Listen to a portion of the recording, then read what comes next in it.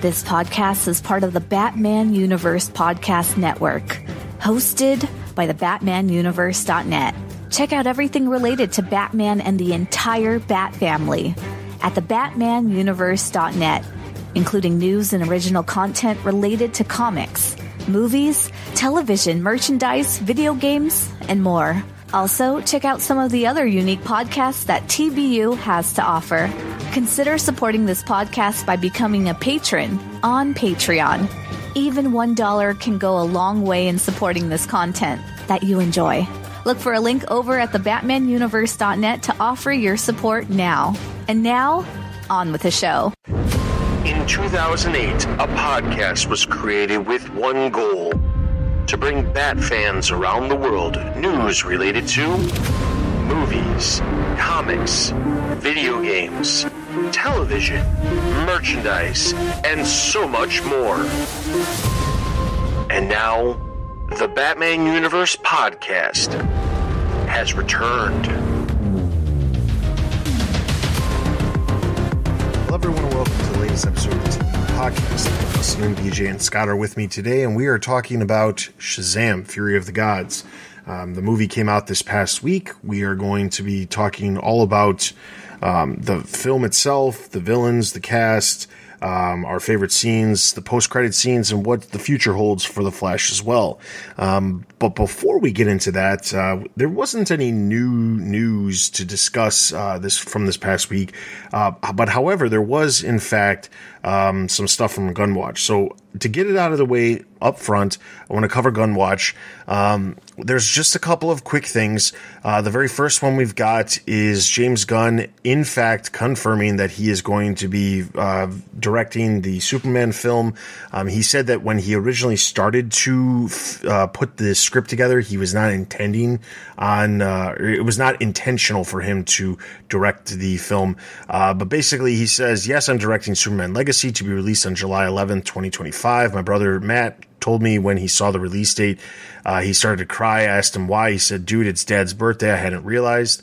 Uh, I lost my dad almost three years ago. He was my best friend. He didn't understand me as a kid, but he supported my love of comics and my love of film, and I wouldn't be making this movie now without him. It has been a long road to this point. I was offered Superman years ago. I initially said no because I didn't have a way in that felt unique and fun and emotional that gave Superman the dignity he deserved.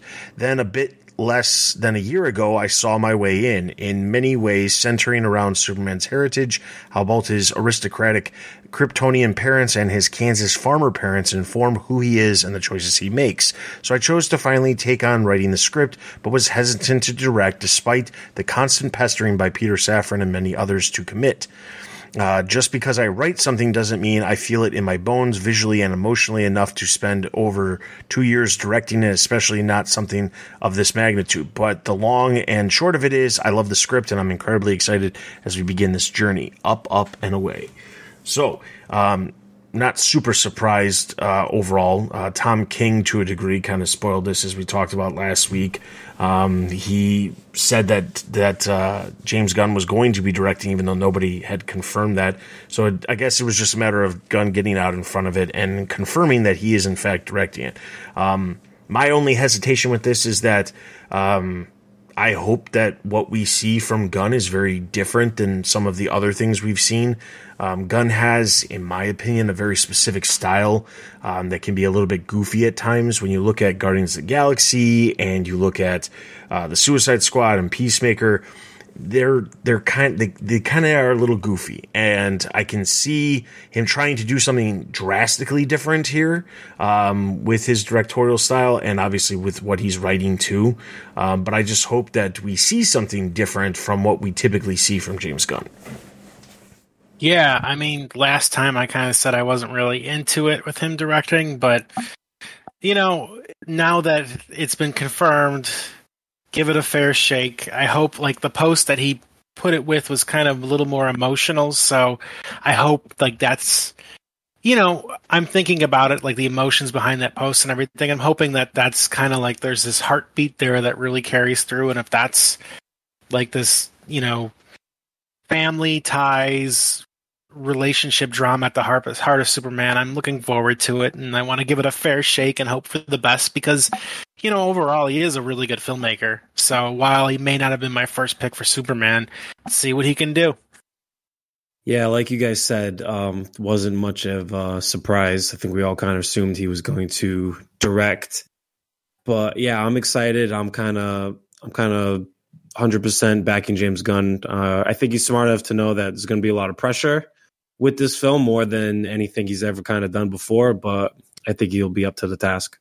All right, now we move on to some completely opposite news. Um, ben Affleck uh, was interviewed by The Hollywood Reporter, and uh, he had a very interesting quote that came out. Now, if you remember back in December, uh, James Gunn, I believe, uh, or I think it was actually Affleck himself, he had came out and said that like um, he you know, is looking forward to seeing what James Gunn did. And I believe James Gunn made a comment about like, we're in talks with uh, Ben to see, you know, how he can have some part of the future of the DC universe. And it, it left it, you know, as a, in a way, at least in my opinion, that it was open for the possibility of seeing something from Ben Affleck, not him necessarily returning as Batman, not necessarily him, you know, being Batman in anything, but more of a, we appreciate Ben as a as a creator, and if he has a project that he you know is is interested in, we're willing to hear about it. And it seemed like everybody was on good terms. And then this this uh, interview comes out, and Ben Affleck has basically said uh, there's absolutely no way that he's going to do anything within this new universe that uh, James Gunn's putting together, which is so drastically different than the comments that James Gunn made, you have to wonder why is this happening? I don't know. The hypotheses and theories online that people are guessing are saying that basically um, this is his way of like siding with Snyder. Um, I don't necessarily agree with that. I don't believe that at all. I think it's he is just moving on he's he did his time in DC Universe. He's you know he had ideas of what to do for a Batman film. Those those ideas didn't end up materializing into a real thing, and I think he's just he's moved on. That's why he's saying he absolutely has no desire to come back and do anything DC. I don't think he's crapping on DC. He has al- already said that he, you know, likes James Gunn and he's interested to see what he's doing, but he is moving on. That's not to say that he couldn't, you know, change his mind in the future, but I think that it's just so abruptly different than what Gunn perceived back in December that I think a lot of people are thinking that something bad has happened behind the scenes, and I don't think that's the case. Yeah, I don't know what to make of it because it's kind of hard to like see past like all the headlines and like drama this gets turned into on the internet. I guess in my head canon, and I have to take a stab at it. I think there were just creative differences. Ben Affleck probably really wanted to do a Batman movie where there was a scene where Bruce Wayne and Selina Kyle have a romantic play fight on a kid's playground, and James Gunn said no, and so it's not happening, and so he walked away.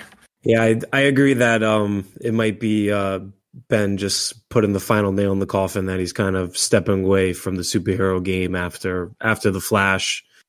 And you know, Ben's a Boston guy. I'm a Boston guy. Maybe his Dunkin' Donuts uh, weren't that good that morning before he had this interview, so he just was kind of a little more angry than usual. I mean, ultimately, it's probably that he's spending too much time at his new job at Dunkin' Donuts, and that's why he he can't actually direct. those drive-throughs are long, man. Those yeah, exactly. All right, so the next bit of news we've got is that there's some been some additional casting for um, the Penguin. Um, the we know now that uh, Michael Zegan, who's from uh, the marvelous Miss Maisel, uh, James Madio, and Scott Cohen are all reported to uh, join Colin Farrell. Um, basically, we don't know specifically who each one of them are playing. We're assuming that one of them could end up being uh, Albert Falcone.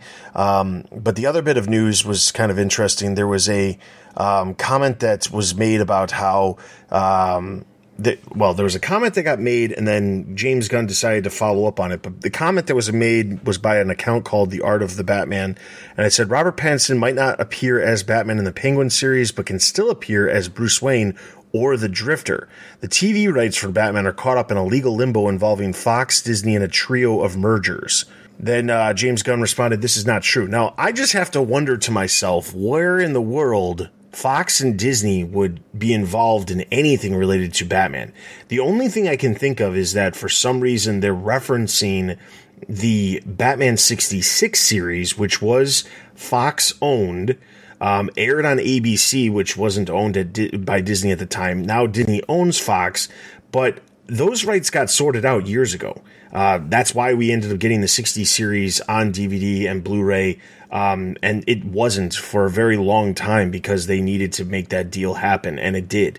Um, so, but the other side of it is the assumption that Batman can't appear, but Bruce Wayne could, doesn't make any sense considering Bruce Wayne is a uh, trademark figure just as much as Batman is, so I don't know why he wouldn't be able to appear considering the Fox series, the 66 series, had Bruce Wayne appearing too. So none of it makes any sense. I don't know what they were thinking by this.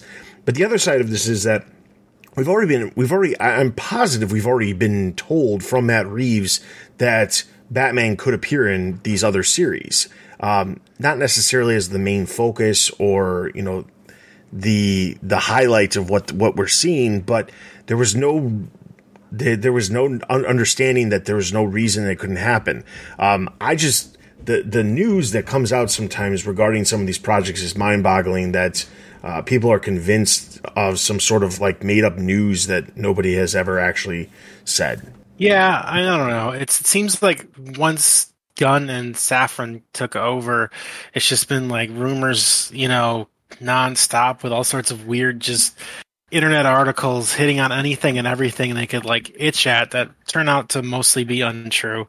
And the way I look at it, it's probably easier for Batman to appear than Bruce Wayne just for the sheer fact that depending on how you're filming Batman and how you're incorporating him, certain scenes only need a stunt double or a bat suit double, we should say. So, you know, who knows, but I don't think that's true at all. I think that's just nonsense nothing gives me a bigger headache than trying to figure out rights and which, which studio owns who, which character, and all that. So, I did. Th- I did think. Uh, I agree with you, Dustin. I did think we heard we heard something that Matt Reeves said that Batman could appear. Yeah, and we all kind of speculated that it would be the final episode or whatever of whatever show. Yeah, and it, I just don't understand. So I, I I clicked on the source article, which is a uh, comic book resources article that's where this news originated from, and not to crap on other websites, but I'm going to. Um, the reality of it is that comic book resources is become, you know, very much like Screen Rant or BuzzFeed, where they're just churning out articles on a uh, extremely high pace, and it's not always the greatest content in the world. And I'm not trying to sit here and say that every content that TBU puts out is the most amazing piece of content in the world. However, um, making up random things is kind of a strange thing. So the article itself it talks about uh, Kinney National Service Inc. purchased DC Comics in the late 1960s along with Warner Brothers, um, and then became Warner Brothers Communication by 1972. This purchase helped secure the TV and film distribution rights to the vast library of DC characters except for one. The 1960s Batman TV series starring Adam West was produced by 20th Century Fox before the Warner deal. In 2009, Warner Brothers entered into talks with Fox, the estate of Adam West, and other parties for the rights of the characters from the 60s Batman, the actor's likeness, and the future of the Bat on TV, according to Variety.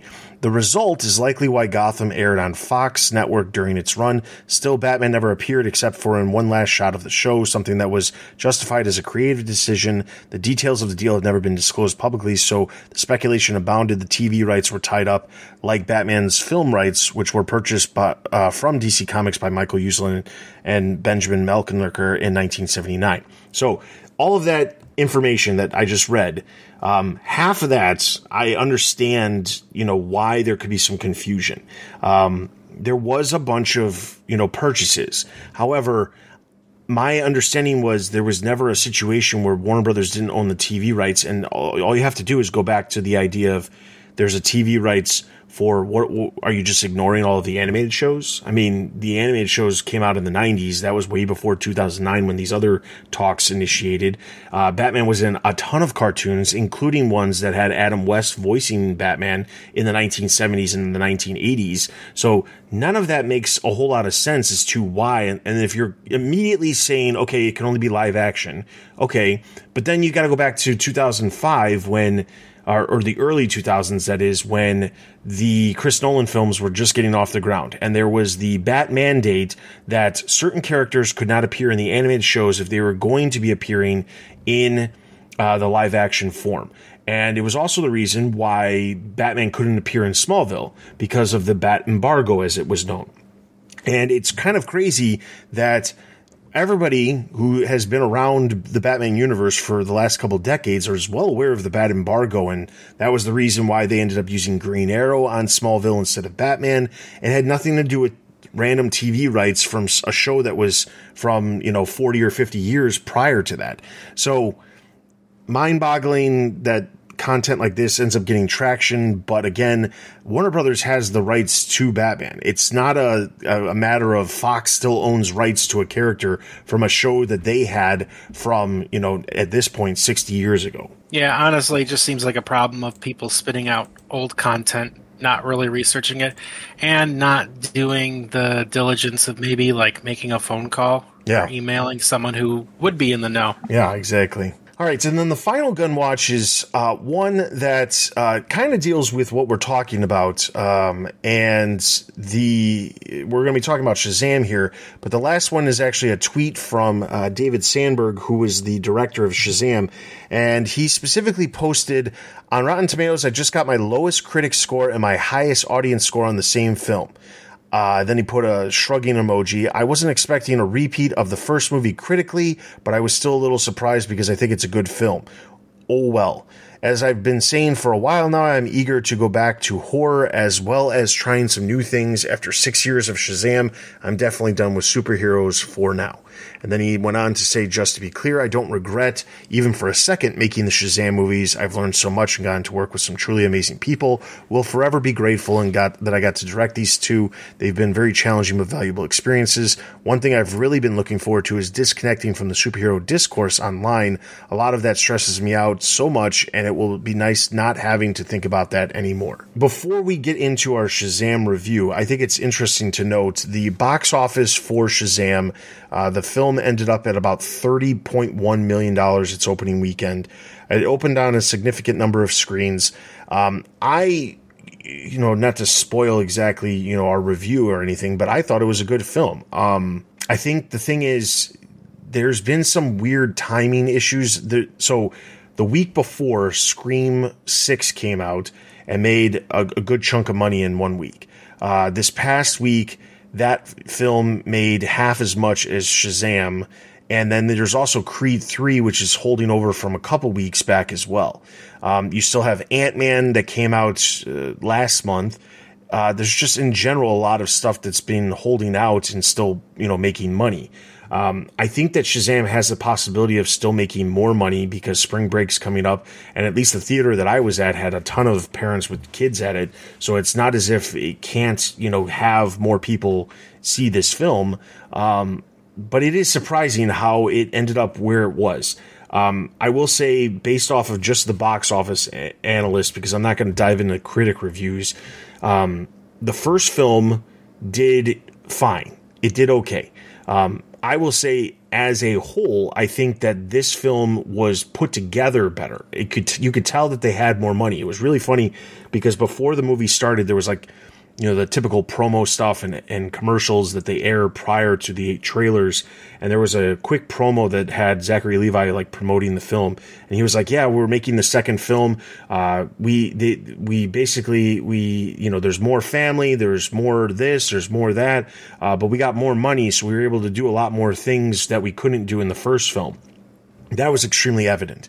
You could tell that they had more money to do more things in this film the effects were, you know, grander in scale.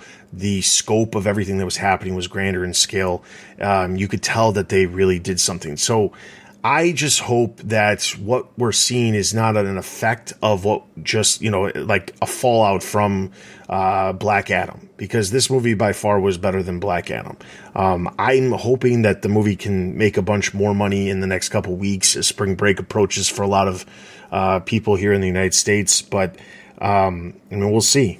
Yeah, I mean, I kind of, I don't know. I feel like David, like it's, I guess it's hard. Like when you're a director of something that comes out and you get hit with, you know, just the internet of of all things, you know, everyone commenting on your movies, and then you have all these stupid aggregate sites that really aren't worthwhile, in my opinion. They're just aggregates, and they're not always entirely accurate. They try to numerize something or turn something into a number that, you know, in some cases, when you read reviews that are either positive or negative, sometimes the content and copy of those reviews is a little more nebulous and rides the wrong line of being neither. So I thought it was a lot of fun too. I had a good time. And I also, you know, time tells on some of these things. Sometimes things flop when they come out, but they become cult classics. You know, not saying it'll make a lot of money probably, but you know, it could have the weird effect that like the last Avatar ha- film had, where everyone like the opening weekend, everyone was like, "Oh my god, it did terrible," but then it like stayed in theaters for a while because people ended up actually going to see it. Um, who knows?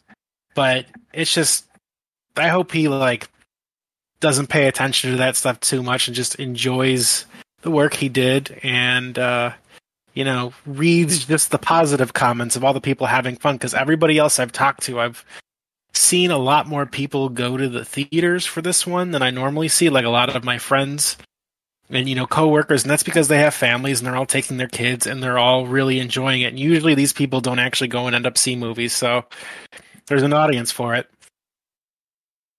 yeah, I hope. Uh, yeah, someone sent Sandberg a link of uh, my review. I was very positive for. I think he'll be happy to read it. But uh, I did say I, I, think both movies have been really good. I enjoyed the first one. I really like this one. Um, I went last night uh, around seven. I think it was a pretty. My theater was kind of solidly packed for the time I went, and there were kids there on a Sunday night. Uh, but yeah, I like Sandberg. I said in the review, I hope they could carve out a space for him uh, in this new universe or whatever they're doing. Maybe he'll take a break and maybe he'll miss it and come back, or who knows what. I'm sure we'll get into it with the future of Shazam. But yeah, I really like the movie overall. Yeah, and with that, we're going to lead straight into our review. Um, kind of spoiler free, three uh, spoiler free thoughts. Uh, we kind of just gave those. Um, I thought it was a good movie. Um, like I said, everything that I just said in relation to the defense of Sandberg um, holds true. I thought this was a better movie than the first one. It's not that the you know like I can't specifically nail one specific thing. We it's funny because uh, so my I encouraged my kids to watch the first one again before since it's been some time since um, since the first one came out, and I they had already seen it and they really enjoyed it out of a lot of the DC films that had came out, but they were watching it, and I rem- and I watched some of it because I you know I wanted to see a little bit of it, but I was seeing certain sequences and just thinking like, yeah, I mean this it was a good fun film. The first one, the second one when I went into the theater, I I'll be honest, I did not have crazy high expectations, mostly because I don't think the trailer did a great job of like making it like a hey, this is a must see film. Um, I really felt like the trailer was giving away too much but I didn't know for sure because I hadn't seen the film yet.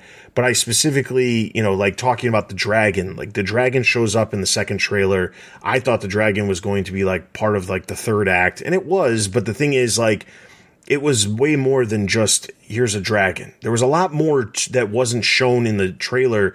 And I'm not saying that they need to show everything in the trailer, but I think the trailer didn't do a great job of really like showing what it was other than, hey, Shazam is a goofy superhero and he does goofy things because he's a kid and that's it. You know like that's the, the side of it. The other thing that um, i will say like when it comes to the this you know the, the sequel is that i thought the villains were a little bit more like thought through than the uh, the the previous film. Um, you know, I would have would have I loved to see Mr. Mind absolutely because Mr. Mind is a cool idea of a villain that's just so out there. Um, but I think this worked. You know, they did a great job of explaining things. Um, I thought everything was there was a lot more character development with a lot of the different characters, not just Billy Batson. Um, there was just a lot more to you know to enjoy about this film, and it's not taking anything away from the first one. I just think that this was in my opinion, better than the first one.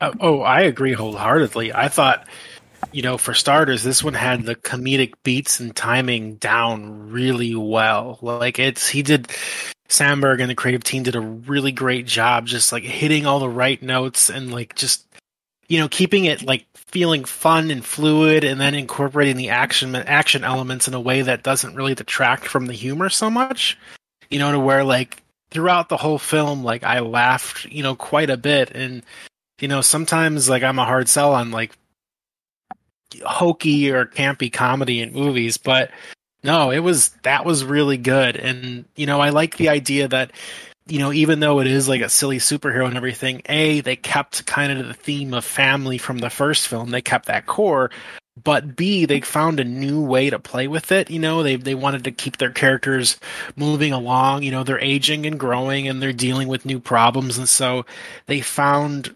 suitable arcs for the characters to play with and to make it feel you know, like you're watching like a real movie and not just like a vehicle to sell toys or just like for cheap jokes for an hour and a half. Like it felt like a really greatly crafted, you know, just original movie that hits the beats you would expect and then tries to shoot a little higher, you know, it yeah, Sandberg, I thought well, this movie as a whole hit kind of every note that you want. You want the big action scenes, you want the moments of levity and comedy and heart, and even Sandberg, you could see some. There was some little horror elements too, showing his horror background, which I thought were mixed in pretty well. Um, so yeah, overall, I thought it kind of hit on every note, and like it did kind of give me everything I wanted. For I will say, like uh, Zachary Levi said, everything had more. There was more family, um, more of the family, not only as kids, but more of them grown up with their powers. So we saw a lot more of them than we did in the first movie. I like that Dario Bava name for that pediatrician. Talk about horror references there. I saw that in the theater and I like had to lean over to my brother and be like, "That's two horror directors." All right, so let's talk about so that's spoiler free. So if you don't want to have any more spoilers uh, now's the time you, you turn away. Uh, but you heard what we thought. It was a good film. Uh, so definitely check it out if you haven't. But we're to get into a lot more spoilers here. So, uh, next up, villains and the plot. Um, so this film had villains that I have no problem saying I was completely unfamiliar with. I didn't know anything about them. I'm not super dialed into the world of Shazam, so I, I you know, like I didn't know if there were somebody that existed, somebody that was new. Um, I didn't. I still don't know because I didn't really look into it to figure out. So I mean, you guys can tell me if I don't uh, think they are. I think they're original for the movie, which is a really cool idea because it worked. I think it worked well um, and like the little connections to the gods and how they were upset because he had the powers of the gods. Um, the whole idea was a cool idea, and then like the the seed that ends up planting into the trees, just randomly sitting into in the rock of eternity. You know, like it's just you know basically a paperweight in this big room that is so important to them. The staff that he broke at the end of the first film being important to get their them their powers back and then needing to meld it, the return of the wizard. I honestly thought that like they hit so many different things of like combining things from the first one, but then introducing new elements. I thought the idea of like having these three sisters, which it's another interesting thing because the initial, uh, the marketing did not show the third sister. So when she showed up on screen as like a student at the, you know, the school that they all attend, it was kind of like I know who she is. I obviously there was some things that I had seen that showed that she was going to be in the film, but it wasn't like a instant, hey, yeah, she's one of the sisters kind of situation. You just knew she was going to be in the film. Um, I thought that it played out well. That like there was a you know a range of like one who absolutely wanted to destroy Earth, one that was kind of like no, that's not what we're doing, but I'm still you know looking for revenge and then the one that was just like looking for the good. I thought it was a great mix. I, I really liked the villains and I really thought based off of the trailer I was not going to like them at all. I like how they tied like their like the villain family dynamic with like what was going on with the Shazam family, you know, like obviously Freddy and the youngest sister, like they connect on basically having an overbearing, you know, older sibling, and that's kind of like a through line between two of them that like holds throughout the whole film. So it's not just like the younger sister's just using Freddy. There's like they do have some kind of a shared bond, and so I thought that was kind of neat. And also, like, you know, when they had the cast of villains, like Lucy Liu's cool and Helen Mirren's a great actress, but I didn't like. I kind of thought like superhero movie villains, like I don't know, but they surprised me. And actually, Helen Mirren felt very Ian McKellen Magneto-ish to me, which I greatly enjoyed. I thought that was really cool, and she kind of like, like that was one of the, my big takeaways. Is I really liked her in the movie in this role, and having that that character, kind of like you said, where like, yeah, she wants revenge, but she's not like out to just be like world destructor here. She's just wants what she believes is rightfully hers and to avenge, you know, their father. Which also I did a quick Google search and while Titan apparently does appear in comics, um, the daughters of or Atlas or whatever, the daughters do not. They're totally made up for the movie. So you know, in this case, it was kind of it was just a neat idea to do that. And then the other thing I did really like, as an aside, was the little shout out reference to the original TV Shazam or Billy yes. Bat. Yep. So thought that was cool.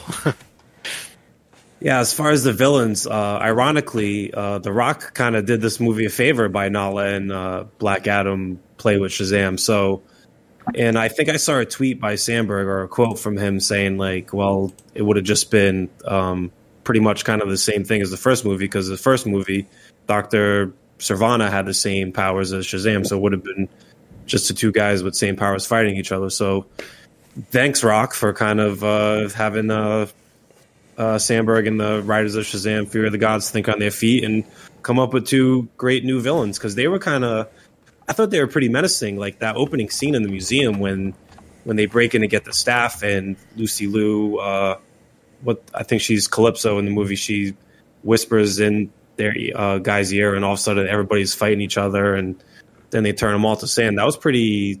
That was pretty uh, menacing uh, opening scene. I like that the janitor from Peacemaker was also in that scene too. yeah, yeah. It all connects. It all connects. Yeah. So, um, humor favorite moments. Uh, let's talk about uh, the Skittles. That was by far one of the uh, craziest things. Um, I kept thinking to myself, maybe there was supposed to be a much bigger marketing push um, between Skittles and the Shazam film because it wasn't just the one time either. Skittles came up more than once.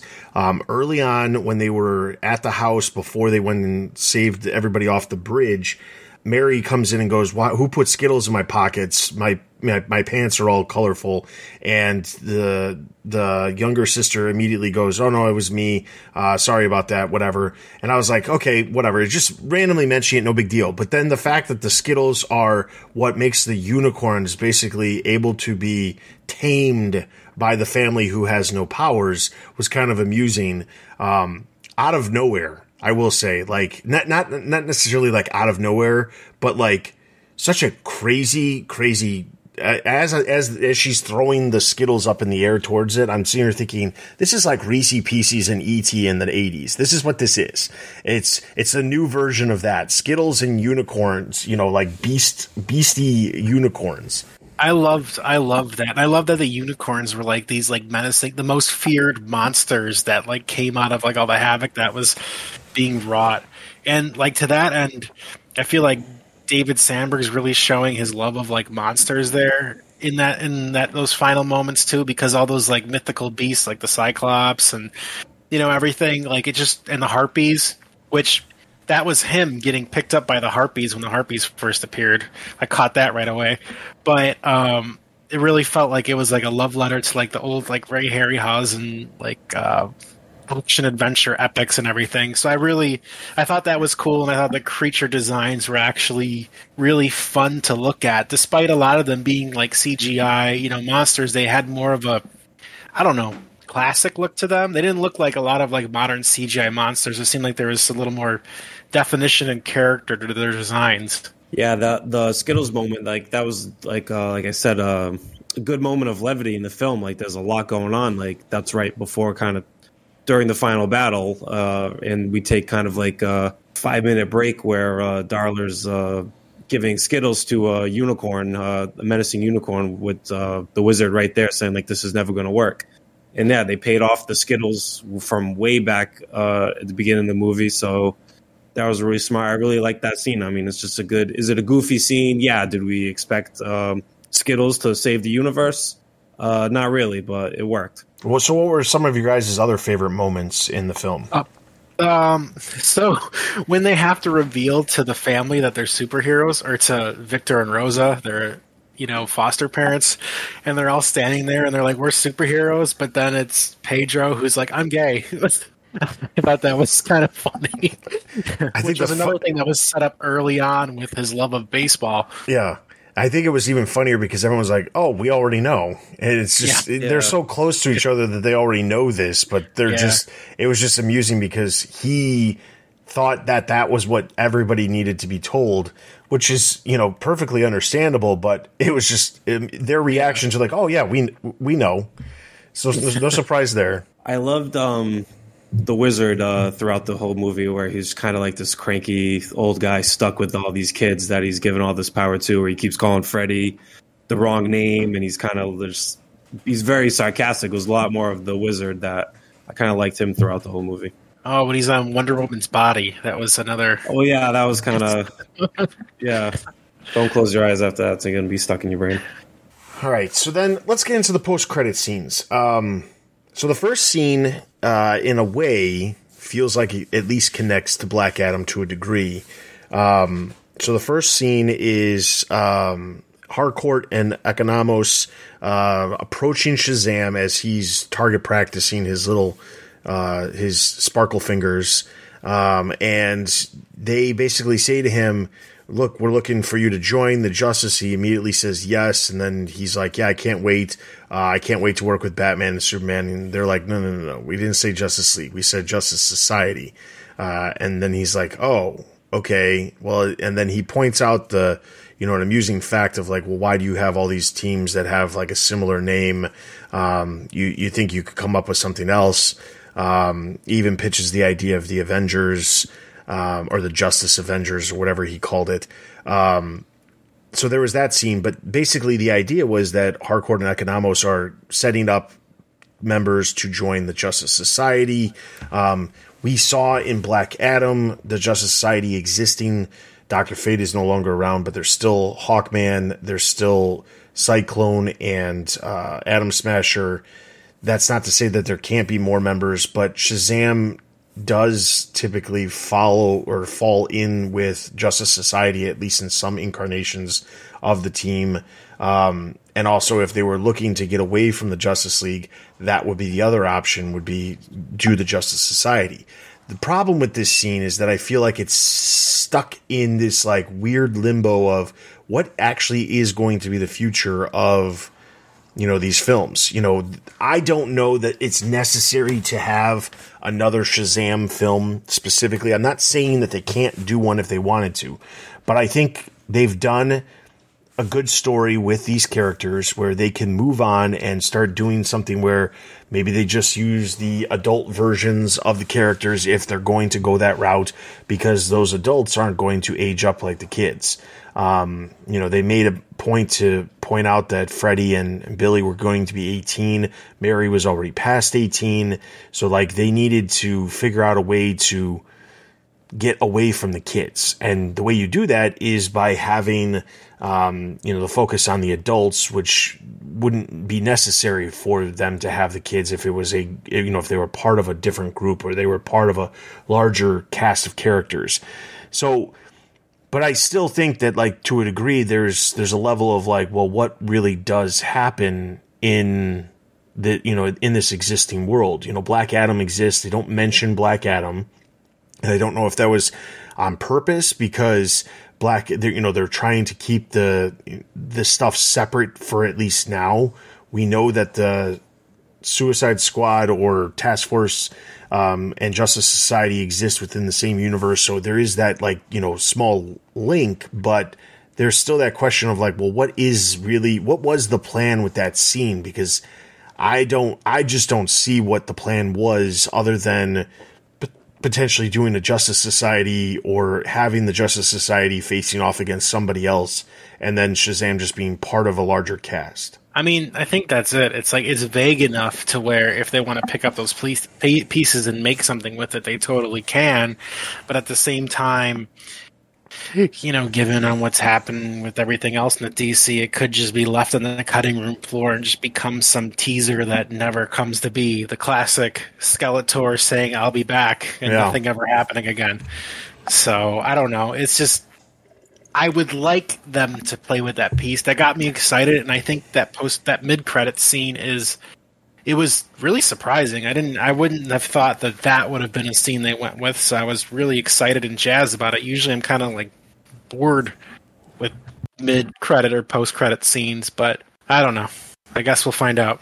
Um, was there any like when did they film this scene? Like, is it post Gunn and Safran? Like, do you know what I mean? Like, because I feel like Gunn wouldn't like let this see if this was the old regime kind of stay in there, kind of like the Cavill Black Adam scene. Yeah, so he had no he had no word on that. That's a good call. Um, we know that this film was supposed to release originally in April of 2022. That was the original release date. It got bumped around and moved around. Um, at one point was in June, then they swapped it with Aquaman, and it was December of 2022, and then it ended up where it was in March of 2023. Um, when this was filmed, I have no idea, but I assume it was filmed during the same time frame of, you know, them doing stuff with Black Adam, them doing stuff with the Suicide Squad, because Harcourt and Economos get introduced in that. It could have been filmed maybe even before Peacemaker, because the Peacemaker series wasn't necessarily greenlit before COVID started, by my understanding, because that fell out of the the the studio liking what Gunn did with the Suicide Squad, and then them doing a series, um, you know, because they could do something quickly with Peacemaker. So it could have been filmed ages ago, and now it seems like it's even more of a thing because Economos and Harcourt have become bigger characters within the confines of the overall DC universe.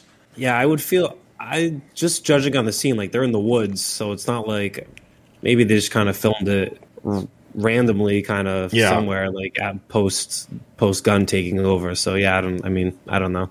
That's just what I thought like right when I kind of saw them like and James Gunn's married to uh Harcourt in real life, so it's not like they yeah. like so I it, it was funny because there was something that happened. I think it was like um somebody like a early screen or something. Somebody saw it and somebody made a comment about like, "Hey, James Gunn, can you stop casting your wife in every single DC film or something like that?"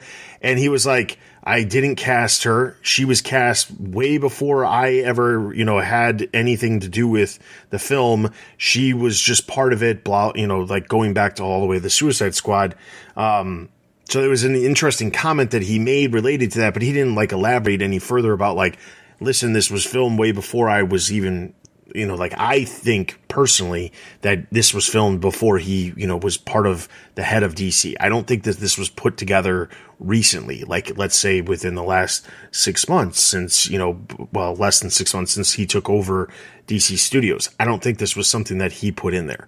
Um, I just don't see that. I mean, we had heard rumors of all kinds of different sequences being filmed for Shazam, Aquaman, Flash that involved the other members of the Justice League. That's, you know, we know that some of them are true when it comes to the Flash at least, and we know that Wonder Woman popped up in here in this film. So, you know, it's it's odd to say that uh, you know, things could have changed or they were really just trying to connect this stuff even if it was loosely. I just oh quickly to go back on Wonder Woman. Um, oh no.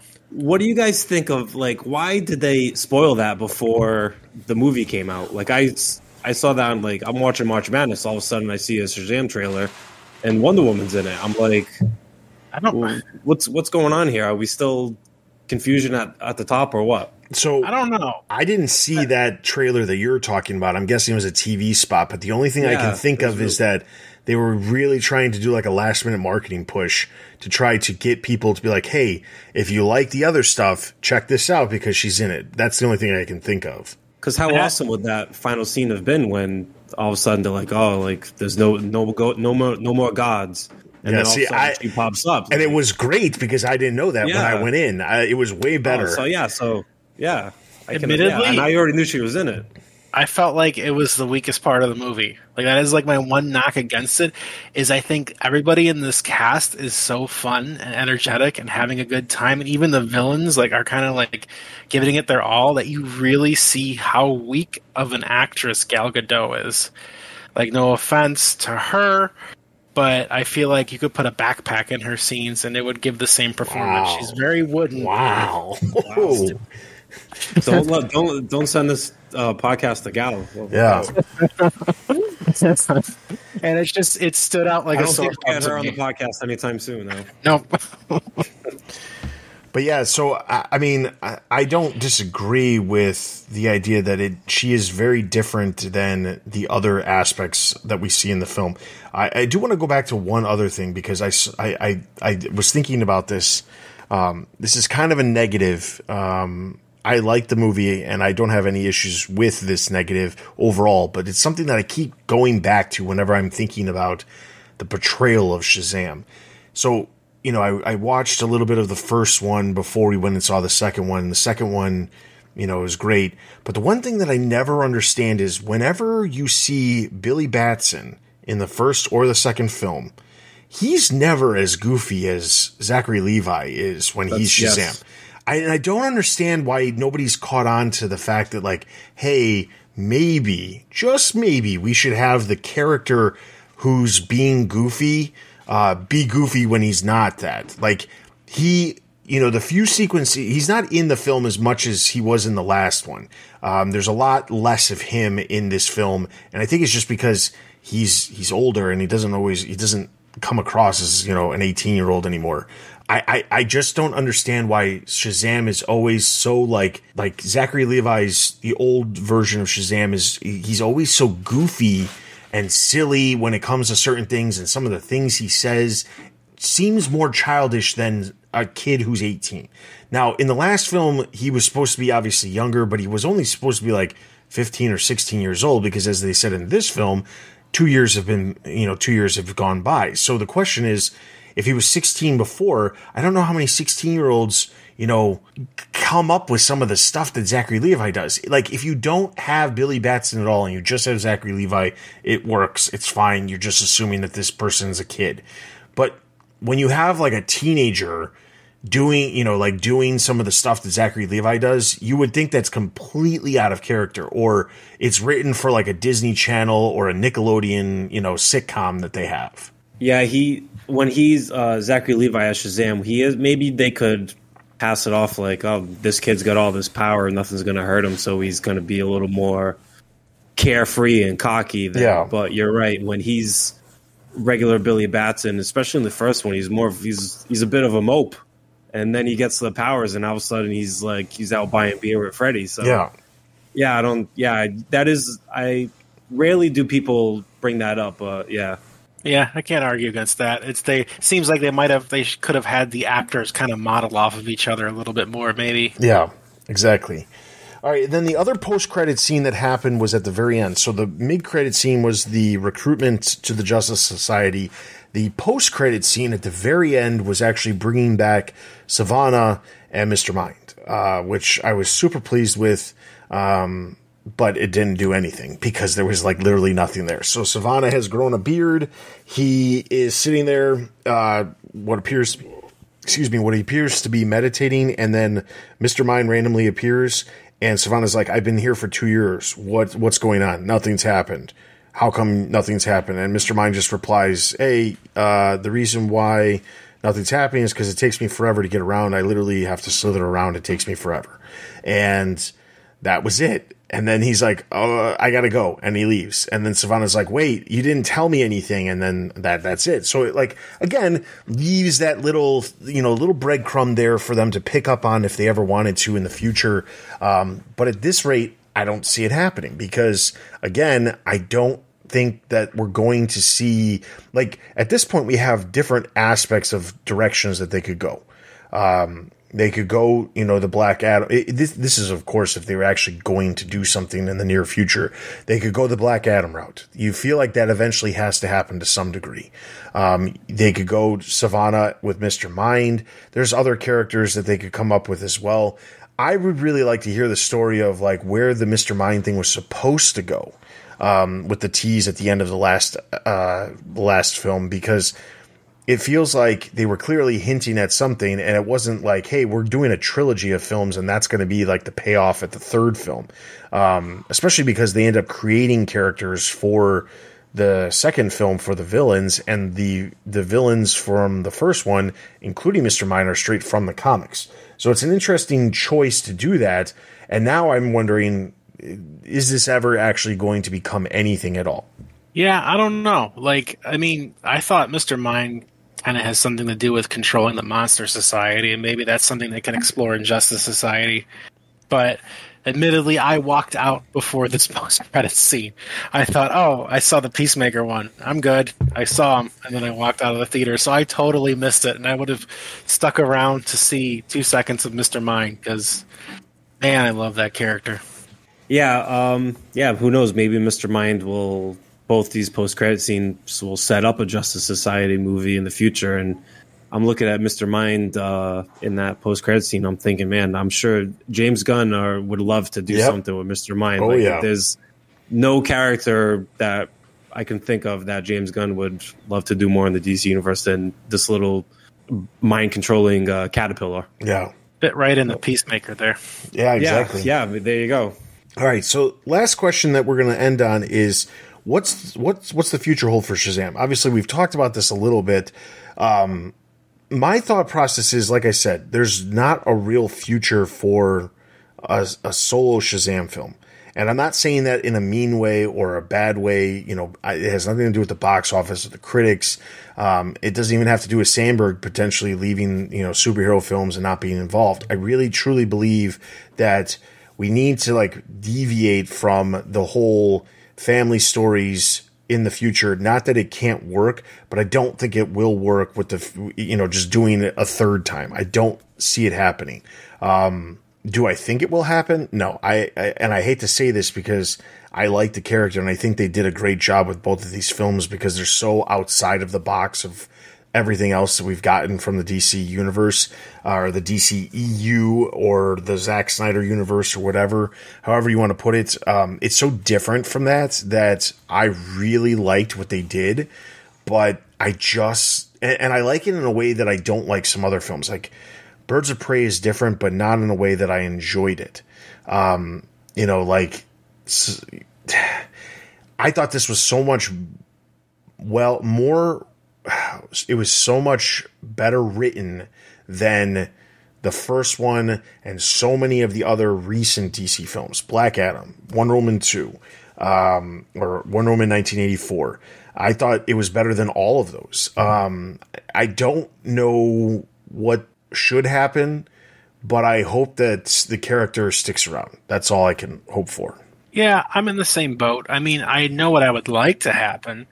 I would really like it, they would have to make this movie like today or tomorrow, but I would like to see them pick up some of the pieces of that second Geoff Johns volume of Shazam because they adapted the first one for the first movie, but pick up maybe little bits of Shazam and the Magic Lands, particularly that one uh, angle of the story where Mr. Mind controls Billy Batson's dad and brings him back in Billy Batson's life only to like forge this relationship between father, like estranged father and son, for the sake of getting Billy to share his powers with his dad. And so then Mr. Mind has the powers, and it's like this whole thing. And then at the end of it, you realize that like once Mr. Mind is like gone from controlling you know his dad's body his dad really like had no interest or care either in anything billy was doing he was just kind of like some it's you know just some guy but like that angle of it, I would have loved to seen that like as a Shazam movie. I feel like it could be a cool third one and pay off a little bit with Mr. Mind. You would probably just have to add like some more Monster Society guys or something into it to make it a little more action packed at the end. But the ne- I feel the next time we're going to see Shazam, he's going to have to be fully Zach Levi Shazam in part of some team because the kids like I'm surprised we got two movies. Uh, it, the first one came out when 2019. Yes. Like Yeah, that. so yeah, so I mean, these kids in a few years, the kid who's playing Billy Batson could probably be like, "Hey, why don't I just play uh, Shazam?" So yeah, it's gonna have to be they're gonna have to kind of slowly back away. If you we saw it with the second one, it's a different. The Mary Marvel uh, is a different actress than the first one as Powered Mary, so they're gonna have to maybe slowly phase part of the cast out or just stick with Zachary Levi. And uh, I thought that was going to be what we end on, but I, I just found an article that is extremely important to bring up because it answers a couple of the questions we just came. So it turns out the Hollywood Reporter talked with Sandberg uh, just this on Saturday, as a matter of fact. Uh, this interview posted, and he clarifies some of the interesting things. So originally, the Gal Gadot thing was was not the, the intent was always to have her in the film, but he truly believed that it was going to get screwed over, and they were going to end up having a headless cameo, just like they did with Superman from the first film.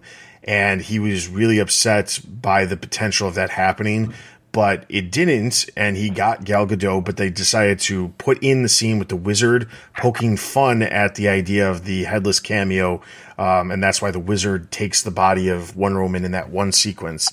Um, so there's that. He also said that the original plan for the mid-credit scene was to include characters from Black Adam who were part of the Justice Society, uh, but the plans fell through the last minute, and because Peter Safran was the uh, producer for the Suicide Squad and Peacemaker, he made some phone calls, and uh, Harcourt and Economos were able to get on set very quickly. And that's why that scene came to be what it was. But it was intended to be Justice Society characters, and that just didn't end up playing out the way they intended. Um, he also made a comment about how he was kind of ticked about how the TV spot that you mentioned earlier uh, talked, you know, revealed Wonder Woman because he really wanted that to be a complete surprise for anybody who was going to see. So he was kind of disappointed by that. Um, but he, he he went on to say a bunch of different things. I'll link the article in the uh, show notes um, or the episode description uh, as you re- as you're listening to this. Uh, head over to the websites and look at the episode show notes to be able to find the article. But he, he talks about a bunch of different things, and he also talks about the different things related to how COVID kind of delayed things and put things into motion that they didn't necessarily were they weren't necessarily planning on and things like that. So it's a good read. Uh, definitely check it out.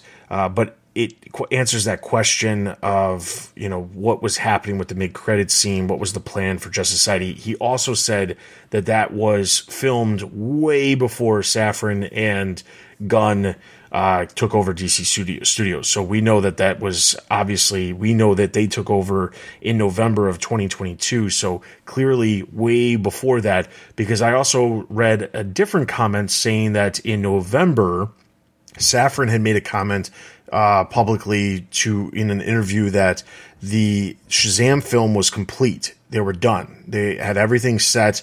It was intended to come out. They like they had originally planned. They moved up the date to be in December and then ended up adjusting it back. But it was not because the film was not complete or anything like that. It was legitimately because they just were trying to shift around the, the dates to make it work better for the releases for what they were trying to do. Um, so that's interesting to a degree. Um, it also kind of bodes into that comments, the, the conspiracy that was out there last fall about how Warner Brothers was losing, or Warner Brothers Discovery was losing so much money that they only had enough money to market one film last year, and that's why they ended up going with Black Adam, and they ended up shifting everything into this year was because that way they'd have more marketing money. But figured it was worth mentioning. Um, still, still, I, I always am blown away by you know all these theories and comments and rumors and how they end up getting you know squashed. So As always, I think we're gonna have to wait till after the Flash to see what the future of everything. Exactly. All right, so with that, that is going to be everything for this episode of the Batman Universe podcast. I want to encourage everybody to head over to the website, thebatmanuniverse.net, for all kinds of news, original content, other podcasts, reviews, editorials, all kinds of different stuff related to movies, TV, merchandise, video games, comics, and everything else related to the Bat fandom. Be sure to check us out on social media. We're on Twitter, Instagram, Facebook, Discord, YouTube. All of our social links can be found at the top of the page over at thebatmanuniverse.net. If you're interested in supporting us, uh, be sure to head over to the site. There is a spot towards the bottom that says support TBU. There's a bunch of different ways you can support us and what we do to bring content for you guys um, is you know like everything from affiliate links to Patreon, all kinds of different stuff. Check it out. Um, outside of that, if you want to get in touch with us, send us an email tbu at thebatmanuniverse.net or leave a comment wherever you are listening to this, as it will come back to us, and we will talk about those on future episodes. If you are interested in well, I'll just put this out there. So in the coming weeks, I uh, was planning on uh, having a topic, and I'll just I'll just float this out there for our listeners to decide on whether or not they'd actually like to hear it. Uh, mostly because I, I think it's going to be kind of like a, a, extremely negative episode, and people might not want that. But I was thinking about doing a uh, review of the Gotham Knights, um, the first episode. Um, it's out. The second episode's right around the corner. As you're listening this, it's already out. And uh, you know, like, hey, we could hate watch a show and see what see it, see how it was. Uh, but if you don't want us to do that, and you'd rather us wait till the end of the first season, we can certainly do that as well. But I'd like to hear your thoughts. So maybe we'll throw a poll up on Twitter or something after the episode releases, uh, leaving you guys with the option of what you'd like to see in the future. Um, but if you have any other ideas, shoot them over to us. We're always open to different ideas of what we can do for uh, different topics that we can cover here on the podcast. So, with all that being said, for BJ, Scott, and myself, thank you so much for listening to this episode of the TBU podcast, and we'll see you guys next time.